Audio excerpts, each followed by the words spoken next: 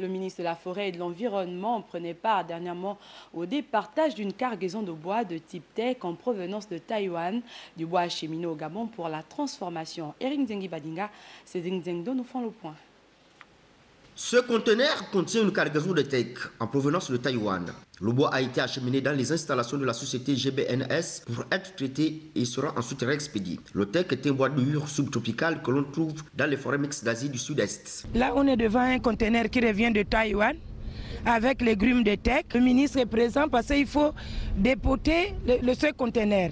On va procéder d'abord à, à lever le scellé parce qu'il y a un scellé qui est là qu'il faut couper. Après, on va dépoter les grumes en provenance de Taïwan. Donc, comme c'est pour une première fois au Gabon, le ministre est venu voir ces grumes qui seront transformées. Ça va repartir en Taïwan parce que euh, GBNS a des machines bien appropriées pour transformer ce, ces grumes. Cette opération est une illustration des plus édifiantes qui démontre que le Gabon devient une plaque tournante en matière d'industrialisation du bois avec des entreprises dotées des matériels de haute qualité.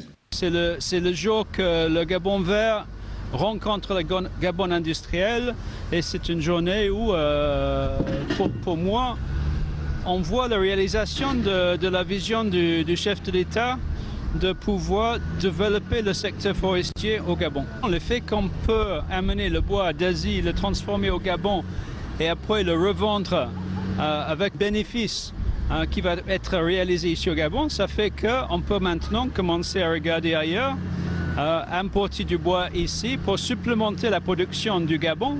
Le teck est un bois très prisé qui jouit d'une image d'excellence et qui résiste à toutes les conditions climatiques, aux insectes et aux champignons. Ce bois précieux est utilisé dans la fabrication de meubles de jardin et dans la construction navale.